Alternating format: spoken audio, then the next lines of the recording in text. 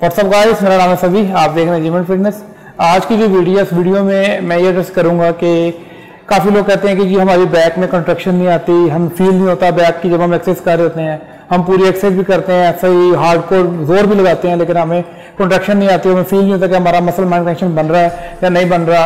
और हमें ऐसा लगता है कि वर्कआउट करने के बाद कि हमने तो वर्कआउट किया भी नहीं। मैं भी अपना वर्कआउट अभी स्टार्ट करने लगा था तो मैंने सोचा कि एक वीडियो बना लूँ आप सबके लिए। तो होता ये है कि बैक में हमारी दो तरह की मूवमेंट्स होती हैं, जब भी हम परफॉर्म करते हैं। एक हमारी पुलिंग मूवमेंट्स होती है और एक होती है हमारी रोइंग मूवमेंट्स रोइंग जो हम खींचते हैं अपनी तरफ़, और पुलिंग जो होती है, हम वो रोइंग जो भी होगी, हम उसको खींच रहे होंगे। जैसे बैंड ओवर रोज होगी, आपकी क्या नाम केबल रो होगी वन नाम डिंगल सिंगल रो रो होगी, और उसके अलावा आपकी इंक्लाइन रोज होगी। और जो कि पुलिंग में होते हैं कि हम पुल करते हैं, अपने मसल को ऊपर से नीचे खींच रहे होते हैं 180 डिग्री में। तो होता ये है कि काफ़ी लोगों को ये कहते हैं कि जी हमें बड़ा मसला है, हमें कॉन्ट्रैक्शन फील नहीं हो रही। तो आज की इस वीडियो में मैं आपको बताऊँगा कि यार कि कैसे हम अपनी मसल माइंड कनेक्शन देते कर सकते हैं बैक में और कैसे एक बड़ी बैक और बड़ी वी टेपर बैक जो है, जिसे हम कहते हैं वी बैक जो है, वो हम हासिल कर सकते हैं। तो वीडियो को स्टार्ट करने से पहले मैं कहूँगा लाइक करें सब्सक्राइब करें और कमेंट वगैरह लाजमी किए और बेल आइकन क्लिक कर लें ताकि कोई भी नोटिफिकेशन हो, कोई भी न्यू वीडियो तो आपको मिल सके। तो अच्छा सबसे पहले स्टार्ट करते हैं कि हम पहले समझते हैं बैक में होते हैं मसल कौन कौन होते हैं? एक एक तो हमारे बैक में मसल होता है इनर इनर लैट्स ठीक है सिंपल वर्ड में बता रहा हूँ, मैं ज़्यादा टेक्निकल नहीं जाऊँगा, क्योंकि मोस्टली हमको को इस चीज़ का नहीं पता होता। और सेकेंडली दूसरा जो होता है हमारा, वो लैट्स होते हैं। और हमारे, उसके साथ हमारे ट्रैप्स का मसल होता है। ये तीन बड़े मसल हम टारगेट कर रहे हैं इन बैक में। तो होता ये है कि कई बार हम लोग कहते हैं कि यार, हम लोग ना पूरी बैक कर लें और क्या नाम है, बिल्कुल हम जो हमारे लैड्स होते हैं, इनको लगा लगा के हम कहते हैं, ये यही बैक है तो इसको हमने ट्रेन करना है. जबकि ऐसा बिल्कुल नहीं होता बैक में हमें अपनी मिड बैक को, अपनी लोअर बैक को इनको भी ट्रेन करना होता है, और इसकी अलग अलग एक्सरसाइज होती हैं।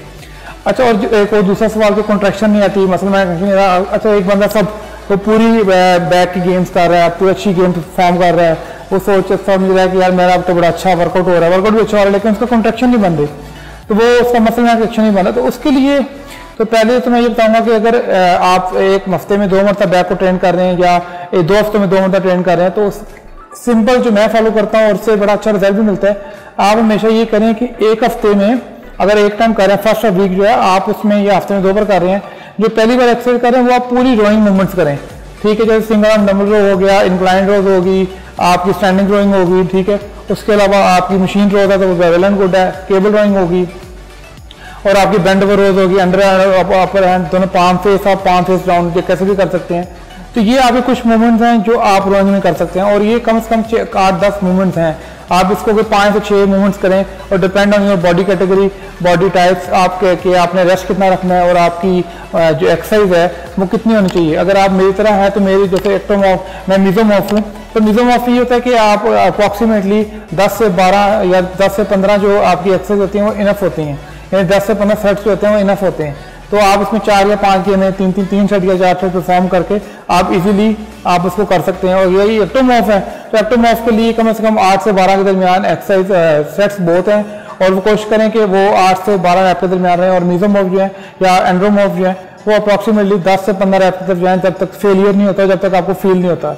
तो उसके अलावा दूसरी एक और चीज़ जो काफ़ी लोग कहते हैं कि जी हमें हमारी लोअर बैक बहुत कमज़ोर है, और हमारी, क्या नाम है लैब बैक इतनी मज़बूत नहीं हो रही। हमें लोअर बैक में दर्द होता है जब हम वर्कआउट में वर्कआउट कर रहे होते हैं इसमें बैक एक्सरसाइज तो एक सबसे बड़ी जो मैंने खामी देखी है, सबसे बड़ा ड्रॉबैक जो देखा है लोगों में, या काफ़ी मेंबर्स में भी, कि मोस्टली जो मेंबर्स हैं मोस्टली जो जिम आते हैं, वो डेडलिफ्ट से डरते हैं।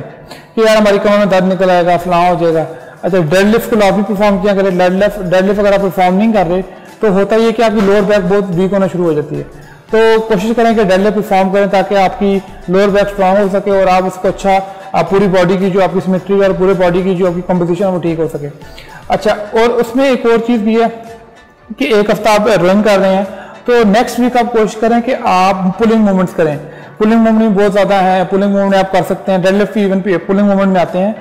पुलिंग मूवमेंट में आप फ्रंट लेफ़्ट पुल डाउन हो गया फ्रंट हो गया बैक हो गया, आप वीकली ब्लैड पुल डाउन कर सकते हैं अंडर हैंड रिवर्स के लिए ब्लैड पुल डाउन कर सकते हैं वाइड एंगल रिवर्स के लिए ब्लैड पुल डाउन कर सकते हैं, और आप क्या नाम है रैक पुल्स कर सकते हैं डेडलिफ्ट कर सकते हैं।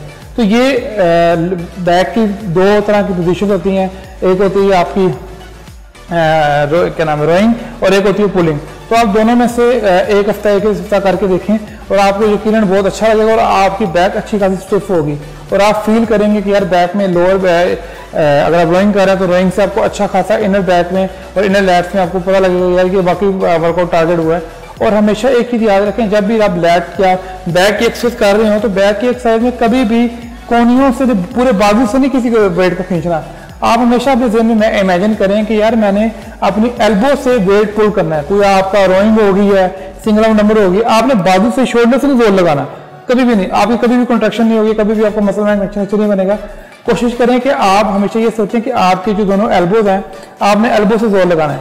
और कोशिश करें कोई भी सेटर खास से रोइंग में, कि आपका जो बाइट्राइसेप्स और आर्म्स और आपकी बेलेट्स ये आपस में रगड़ खा के पीछे जाएँ, ताकि आपकी अच्छी कंट्रक्शन हो और आपका अच्छा मसल मैनुफैक्चर हो।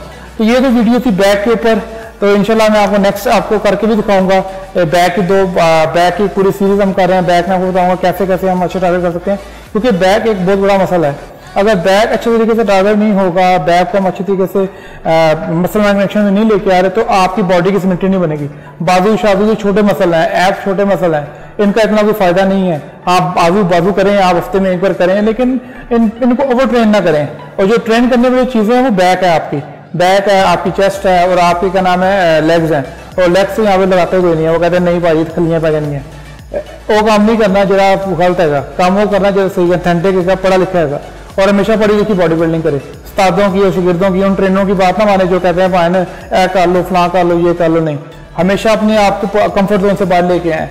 और अपने कंफर्ट जोन से बाहर आएँगे तो कभी कुछ होगा अदरवाइज़ कुछ नहीं होगा। आप जितने भी लेजेंड्स देखते हैं रोनी कोलमैन हो गया रॉक हो गया सरजी कॉन्सर्ट हो गया सेंगन पांडा हो गया, कि जितने भी सरजी कॉन्सर्ट वगैरह जो भी हैं ये जितने भी लोग हैं, ये अपने आप को इतना पुश करते हैं कि जितना हम कर भी नहीं सकते हैं। तो ये एक बहुत बड़ी मेथ है कि जी नहीं कंफर्ट जोन से बाहर नहीं जाना आप नॉर्मल एक्सरसाइज करनी है। अपने आप को पुश करें और अपनी बॉडी को बियॉन्ड द लिमिट्स लेके जाएँ ताकि आप अच्छा वर्कआउट कर सकते हैं और लाइफ में अभी आप काफ़ी जो स्ट्रेस वगैरह काफ़ी जो आपके मुश्किल आते हैं उनको फेस कर सकें।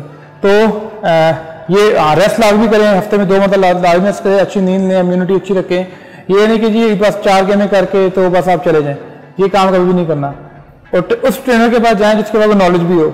ठीक है, बड़े मसल ना हो, बस सिर्फ़ नॉलेज हो। नॉलेज बड़ी बेहतरीन चीज़ है वो बहुत लोग, कम लोग उसको रख सकते हैं। मोस्टली लोग उसको वेस्ट कर देते हैं। तो अपना ख्याल रखिएगा। टिल देन अल्लाह हाफिज़।